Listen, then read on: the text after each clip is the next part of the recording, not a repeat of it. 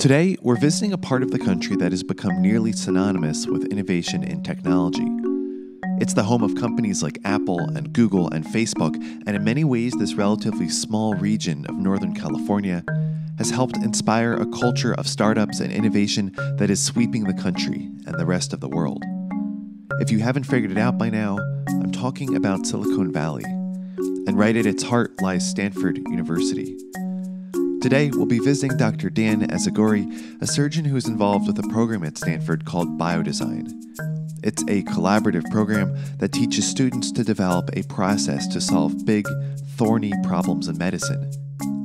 They've developed devices that help provide safer IV access, avoid surgical site infections, and even reduce aspiration pneumonia. I'm an assistant professor of surgery at Stanford University and um, also the assistant director for the Biodesign Specialty Fellowship Program, which is a mouthful, but essentially I'm on the faculty of the Biodesign program and I mentor one of the teams of US Fellows that we have. And I'm also heavily involved with the collaboration that we have with the Japan Biodesign program that has started two years ago. So, before we go any further, I should point out that biodesign is built on a process called design thinking. Dr. Azagury explained how this works. Um, the, the main sort of aspect of design thinking, I think, is, is empathy, and it's getting to know your customer and know, understand the vision and the problems that the person who's going to be the user, the customer, the patient in this situation has. Try to put yourself in somebody else's shoes to understand what the issue really is before you start solving the issue.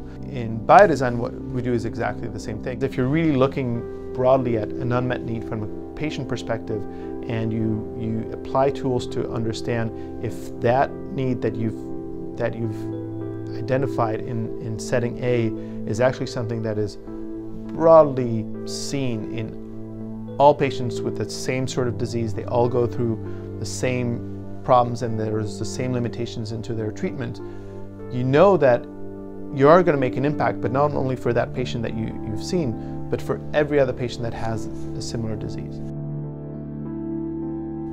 So they, they came up with using the design thinking methodology to, to really put yourself in the patient's shoes, identify what their need really is, and then design the, the process in order to really, once you have all those needs, sort them through, get to the, the, the richest ones and, and the ones that are the, the highest quality.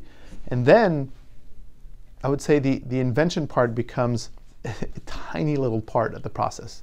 I do truly think that um, people, uh, most people are intrinsically inventive and innovative and creative, um, and at least curious. You, I don't think you go into a field like medical school or even engineering for that matter if you're not curious, if you don't want to learn things, if you don't want to understand things. And so um, I think most people go into medical school being creative and innovative and wanting to learn new things and wanting to and and if you and if you let them, they will. I think that's where the core of, of biodesign came from, is saying we want to teach people how to identify those needs, how to understand what patients um, are sort of suffering from. What, what, what, is, what are the things that they would really need to make their um, disease get,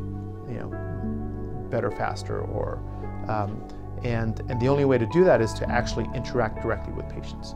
Uh, and I think that's at the core of, of the biodesign process is to say, if you take some time to go and see how healthcare is delivered, how patients go through the system, what they experience, and you keep an eye out for not the positives, but the negative aspects of their, of their care, um, you will spot things that could be improved. And once you look at healthcare, it's it's everywhere. I mean, the, there, there, there are needs for improvement across the board.